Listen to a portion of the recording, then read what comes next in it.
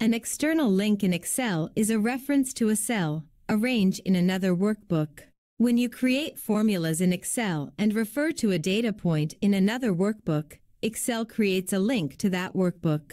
This part of the formula tells Excel to go to this workbook and refer to the specified cell in the workbook. The benefit of having an external link in your formula is that you can automatically update it when the data in the linked workbook changes. We can find external links and references in two ways, using Find and Replace, and using Edit Links option. Let's take a look at how to find external links using Find and Replace. Cells with external links contain the name of the workbook to which it links. This would mean that the reference would have the file name with XLSX extension. We can use this to find all the external links. Select all the cells. Go to the Home tab. In the Editing section click Find and select and then click Find. In the Find and Replace dialog box, enter .xl in the Find What field. Click on Find All.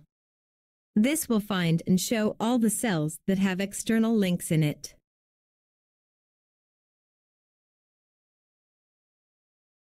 The second way to find external links is using the Edit Links option. Excel has this built-in tool that will find all the external references. Go to the Data tab. Click on Edit Links.